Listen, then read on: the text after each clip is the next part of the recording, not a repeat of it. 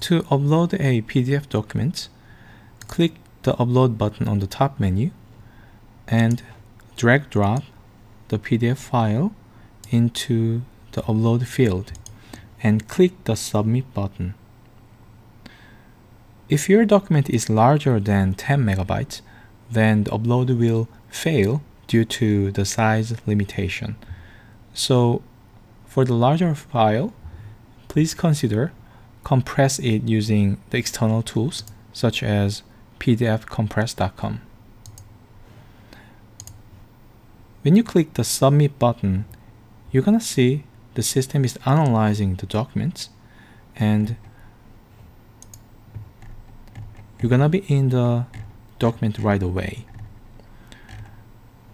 You can start annotating the document here uh, and when you want to get into the document once again please click my docs.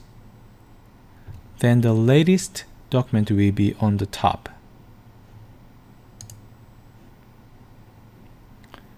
That's it. This is how to upload a PDF document to RichReview system